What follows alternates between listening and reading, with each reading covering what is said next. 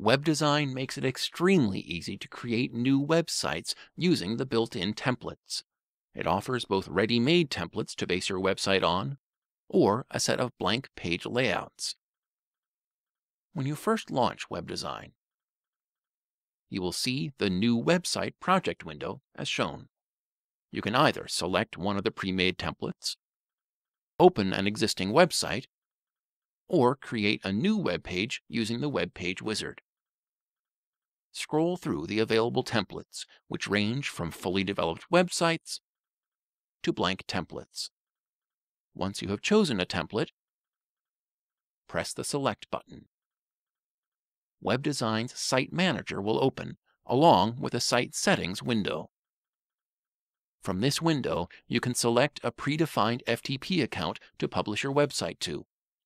At this time, you can ignore this option if you do not yet have a web host set up. Your purchase of web design comes with four free months of web hosting to get you started.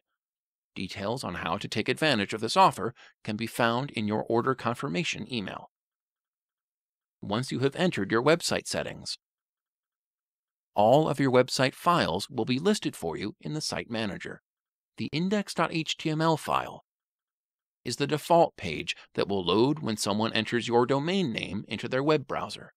The rest of the pages are sub-pages linked from the navigation menu of each page.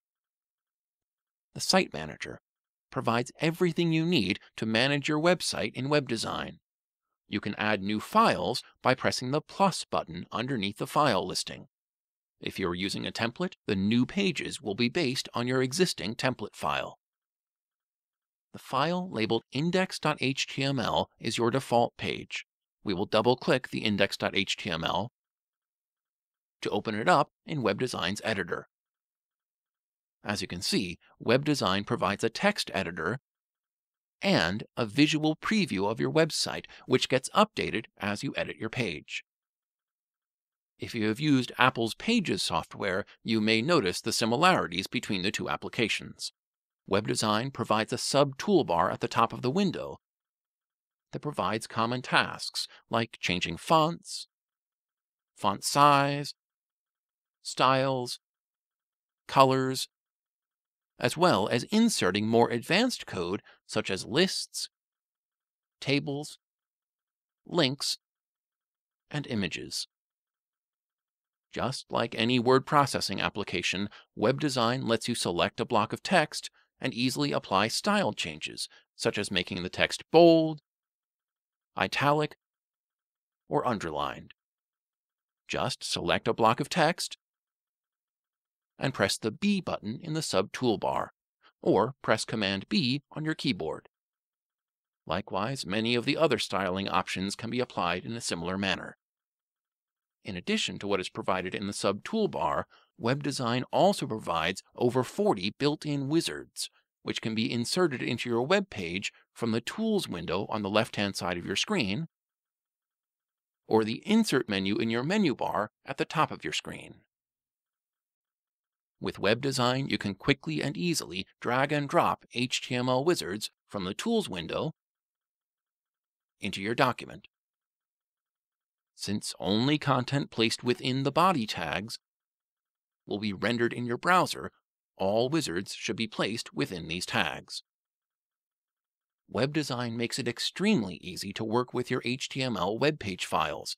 All of your HTML tags are color-coded so you can easily separate HTML markup with regular text content. Syntax coloring also allows you to easily spot basic coding errors in your HTML. Web design also includes auto-completion of HTML tags, attributes, and attribute values. As you type, a list of all available HTML tags and attributes will be provided you can use your keyboard's arrow keys to select one of the available options. Pressing the Tab key on your keyboard will insert the currently selected autocomplete tag.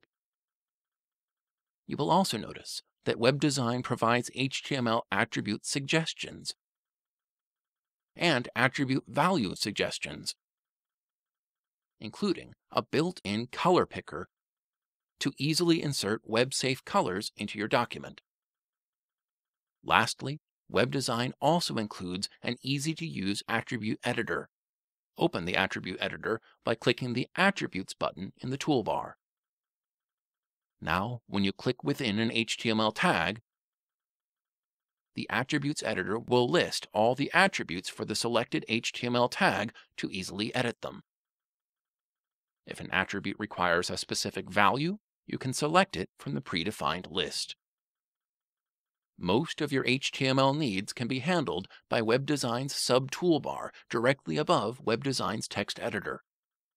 For example, the Font menu provides access to commonly used web-safe fonts, while the Color button will let you specify the text color of the currently selected text. When you are finished editing your website, you can go back to your Site Manager and use the Prepare Site button to check your site for coding errors and broken links. In addition, you can also apply various modifications to your entire site. You can convert your site to XHTML or CSS. You can optimize your HTML code so it loads faster for your visitors or change the case of your HTML tags. Once we have applied any changes to our site, we can publish our website to our server by clicking the Publish Site button. Web Design will only publish modified files. We will have to enter our server information. But once we have done this once, Web Design will remember these details when publishing in the future.